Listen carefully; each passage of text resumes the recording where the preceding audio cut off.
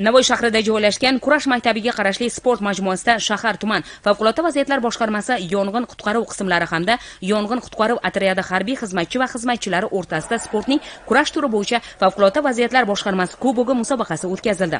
Unda viloyat favqulodda vaziyatlar boshqarmasi shahar tuman bo'limi yong'in qutqaruv qismlari hamda yong'in qutqaruv otryadi harbiy xizmatchilaridan iborat o'n sakkizta jamoa ishtirok etdi. Musobaqa shaxsiy tarkibi o'rtasida sog'lom turmush tarzini targ'ib qilish ularning jismoniy va jangovar tayyorgarligini oshirish sport turlarini ommalashtirish hamda turli sport musobaqalarini tizimli o'tkazilishini ta'minlash maqsadini qamrab oldi.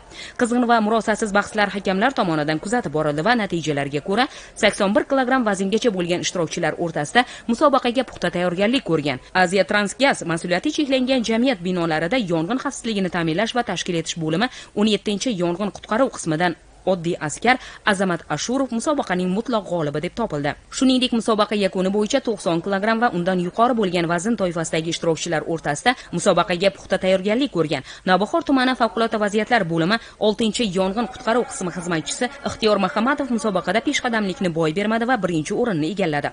Musobaqada faol ishtirok etib sovrindor o'rinlarni egallagan jamoalar va xodimlar viloyat favqulodda vaziyatlar boshqarmasi rahbariyatining medal faxriy yorliq qimmatbaho sovg'a hamda musobaqa kubogi bilan taqdirlandilar yoshim qirqda milliy kurash sport turi bilan e, sakkiz yoshimdan beri shug'ullanib kelaman. Bunaqa narsa har doim bo'lib tursa har olti oydami yetti oydami xursand bo'ldik. Mana hamma ertalab turib ishxonada oltida sportini qilsa beshdan keyin sportini qilsa ana shunday har doim yengil bo'ladi. Xudoga shukur deyman mana birinchi o'rinni oldim. Ayni vaqtda boshqarma kesimida sportning boshqa turlari bo'yicha ham bu kabi musobaqalar tashkil etib kelinmoqda. Bu o'z navbatida xodimlarning jismoniy salohiyatini mustahkamlab ish samaradorligini oshirishga ham xizmat qilishi tabiiy.